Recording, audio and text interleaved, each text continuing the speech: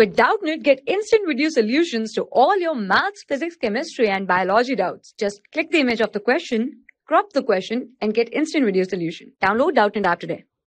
It is given that if the lengths of the tangents drawn from P to the circles this and this are in the ratio 2 is to 1, then the locus of P is. So the circles given to us are, let us say S1.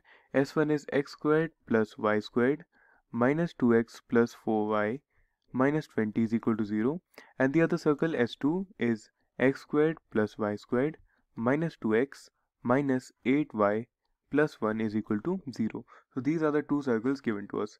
Now we are talking about the locus of point P. So let the coordinates of point P, let the coordinates of point P be equal to h comma k, right? H comma k are the coordinates of point P. Now what we need to do is we need to find the length of the tangent from P to the two circles. The length of tangent from P to S1 this is given by let us say L1 this will be equal to under root of h squared plus k squared we just simply have to put the value of h comma k into this circle. So we have h squared plus k squared minus 2h plus 4k minus 20 this is the length of the tangent from p to the first circle.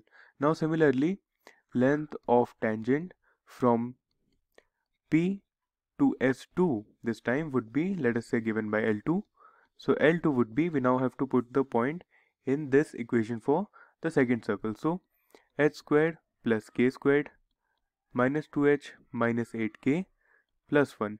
So this is the length of the other tangent. Now it is given that the lengths of the tangents are in the ratio 2 is to 1.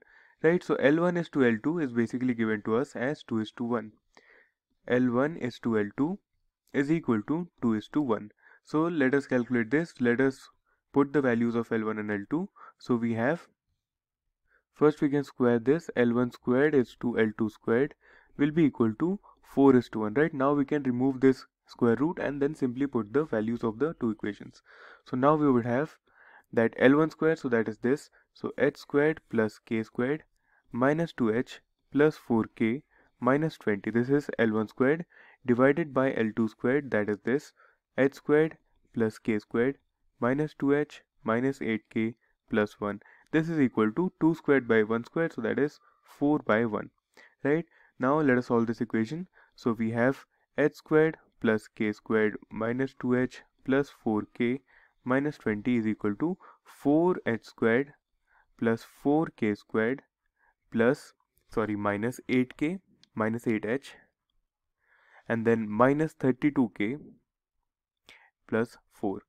Now we are going to solve this. Take these h's h squared and k squared to the other side.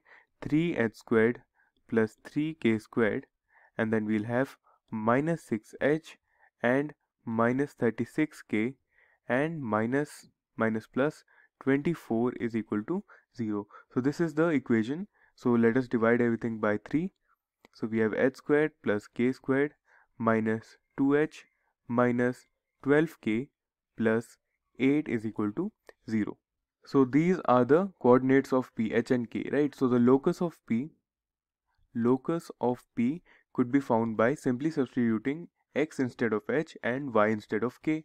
So the locus of P would be the equation x squared plus y squared minus 2x minus 12y plus 8 is equal to 0 and this is the equation of a circle and this is our solution. For class 6 to 12, IIT JEE and NEET level. Trusted by more than 5 crore students. Download Doubtnut app today.